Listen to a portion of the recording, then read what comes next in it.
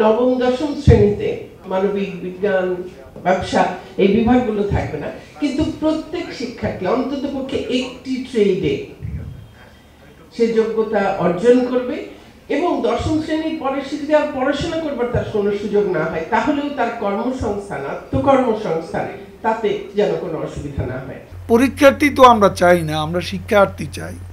আমাদের মাথায় যদি থাকে শুধুমাত্র জীবিকা, তাহলে সে শিক্ষাটা ভালো রেজাল্ট নির্ভর হয়ে পড়বে। এটা শিক্ষার গুণগত গভীরতা কোয়ালিটিটিভ এডুকেশনের বিষয়টা অনেকটা আড়াল হয়ে যাবে।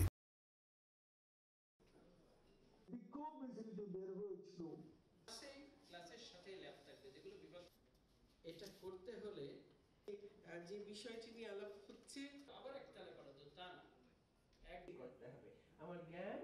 বিষয়